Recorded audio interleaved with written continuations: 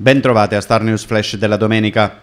A Caltagirone i carabinieri della stazione di Granieri hanno arrestato in flagranza di reato un 34enne per detenzione di sostanze stupefacenti ai fini di spaccio. I militari durante un servizio hanno sottoposto a controllo due persone che erano a bordo di una Jeep Renegade, il 34enne e un 52enne. Il più giovane ha tentato di far scivolare sotto la macchina un pacchetto di sigarette che però è stato subito recuperato dai carabinieri che lo hanno aperto e hanno trovato all'interno ben nove dosi di cocaina. L'uomo perquisito aveva in tasca altri 3 grammi di cocaina mentre il suo amico 52enne aveva nascosto nella tasca dei pantaloni una dose della stessa sostanza, motivo per cui è stato segnalato alla prefettura di Catania quale assuntore di sostanze stupefacenti.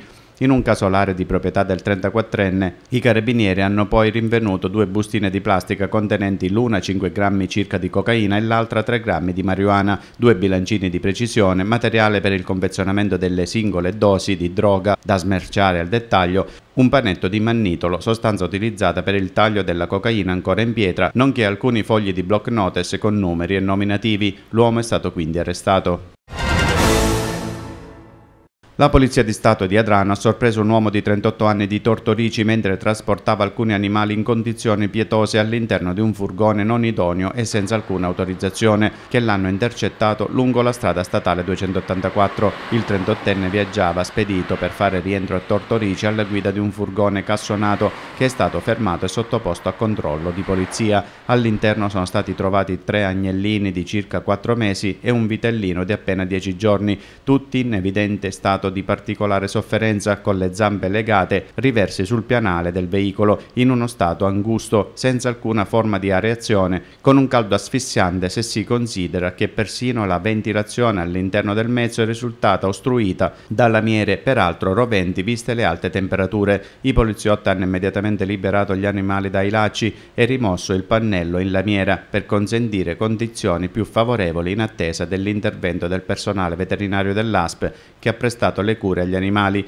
in particolar modo al vitellino che presentava un vistoso ascesso. Inoltre i controlli hanno permesso di constatare l'assenza di auricolari e di marchi di identificazione fondamentali per il tracciamento animale a tutela della salute pubblica, motivo per cui si è proceduto ad applicare i marchi in dotazione specifici per specie, con registrazione dei tre agnellini e del vitellino che sono stati sequestrati amministrativamente e trasferiti con un veicolo idoneo autorizzato. È emersa la totale assenza di documentazione utile e necessaria prevista dalla legge per il trasporto di animali vivi. Pertanto al conducente del mezzo sono state combinate sanzioni pecuniarie e in quanto proprietario degli animali è stato denunciato in stato di libertà per il reato di maltrattamenti che prevede la reclusione da 3 a 18 mesi e una multa da 5.000 a 30.000 euro.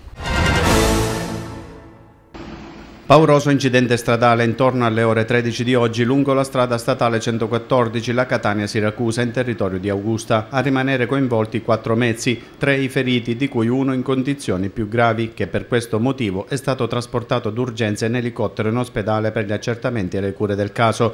L'elicottero è atterrato sull'autostrada poco distante dal luogo dell'incidente. Sul posto diverse ambulanze del 118 con il personale sanitario che si è preso cura dei malcapitati, i vigili del fuoco per mettere in sicurezza i mezzi incidentati e la polizia stradale per effettuare rilievi da una primissima ricostruzione della dinamica dell'incidente, ma deve essere ancora da stabilire, sembrerebbe che il conducente di una delle auto coinvolte non avrebbe notato in tempo l'incolonnamento di auto che vi era in quel momento e nonostante una lunghissima fortissima frenata, visibile anche sull'asfalto, avrebbe violentemente speronato un'altra auto, creando così un effetto domino che ha coinvolto gli altri mezzi. Come detto però è tutto in fase di ricostruzione, si sono vissuti momenti di vera paura per i presenti, il transito veicolare in direzione Catania è rimasto interrotto per diverse ore, solo dopo la rimozione dei mezzi e la ripulitura dell'asfalto invaso da oli e detriti è stato possibile riaprire la strada con la circolazione che è tornata ad essere regolare.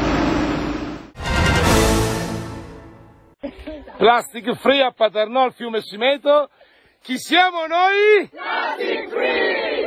Mattinata dedicata alla pulizia ambientale, quella di oggi vissuta incontrata a Pietralunga nei pressi del Ponte Romano in territorio di Paternò, organizzata dall'associazione Plastic Free. I volontari si sono dati appuntamento di buon mattino per attuare l'azione di pulizia straordinaria a tutela dell'ambiente. A supportare Plastic Free, Vivi Simeto, 350 Sicilia, le associazioni Agire, Misericordia e Avuls. Circa 50 i volontari provenienti da Paternò, Mister Bianco, Belpasso, Santa Maria di Licodia e Catania. La spazzatura raccolta verrà smaltita domani dalla Dasti, la ditta che si occupa della raccolta dei rifiuti nella città di Paternò. Sono stati raccolti 15 sacchi di plastica, 29 di indifferenziata, 9 di vetro per un totale di circa 500 kg di spazzatura.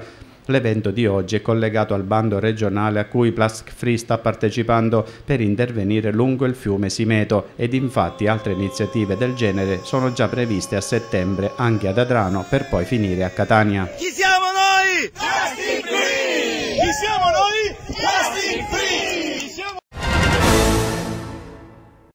Prima giornata a Bronte dedicata allo sport, alla solidarietà e all'ambiente. Questa mattina tantissimi bambini, genitori e ciclisti hanno partecipato alla passeggiata in bicicletta Il chilometro del pistacchio, organizzata dal comune in collaborazione con la SD New Energym, affiliata alla Federazione Ciclistica Italiana. È stata l'occasione per vivere serenamente la città e contribuire alla ricerca indossando la maglietta della Fondazione Teleton che giovedì 27, sempre insieme con il comune di Bronte, organizza l'evento Camminiamo Camminiamo per la Vita con il concerto live della Tribù del Blasco alle ore 20.30 in piazza Spedalieri.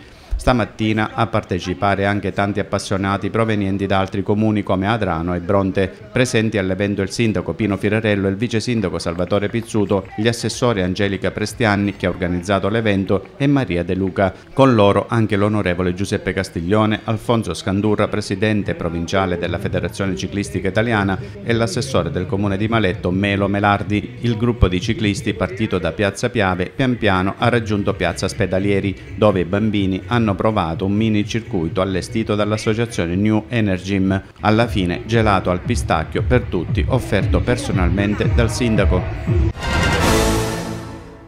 Per il momento è tutto, Star News Flash della domenica termina qui e vi do appuntamento più tardi. Se volete rimanere sempre aggiornati H24 in tempo reale potete consultare come sempre le nostre pagine social Facebook, X, Instagram, Telegram, Whatsapp e l'invito è proprio quello di iscrivervi anche al canale Whatsapp e troverete il link nella nostra pagina ufficiale di Facebook.